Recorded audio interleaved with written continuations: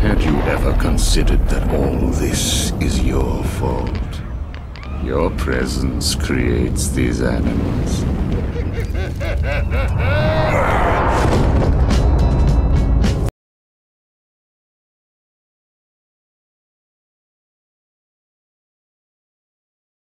Confirmation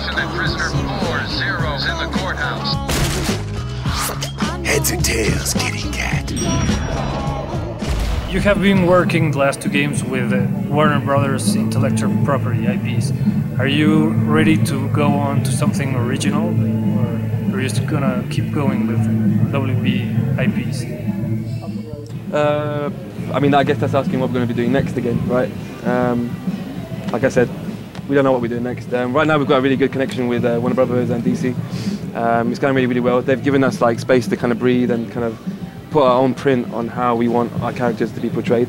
Um, but yeah, it's a good, it's a good partnership right now. I don't know, no idea what's going to happen later on next year, year after. So, but whatever it is, it's going to be fantastic. So. Is it harder or easier work with a franchise which is so delicate as Batman? You know, so de- so defined in so many ways.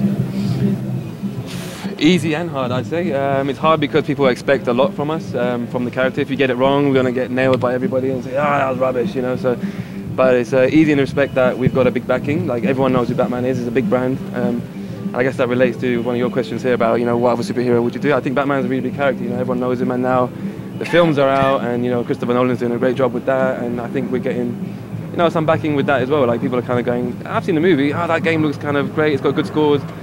So but I think yeah, I think it's easy and hard at the same time. Buenas noches, estamos aquí de Elemento Geek. Hola Mexico, hola Mexico. That's it, right? Um, we're happy to be here. You know, it's first time in Mexico for us, and uh, we hope that you guys are going to pick up the game very soon and enjoy it. Okay, and for our fans, if you could, could you sign it, and we're gonna raffle it off in, on Twitter. It would be a shame to get blood all over my nice new outfit.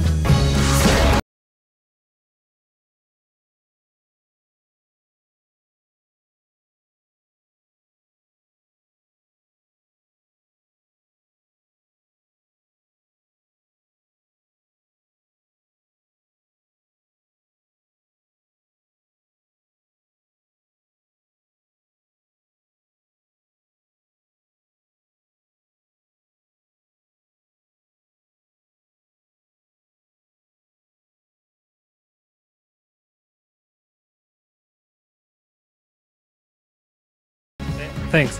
Thank you.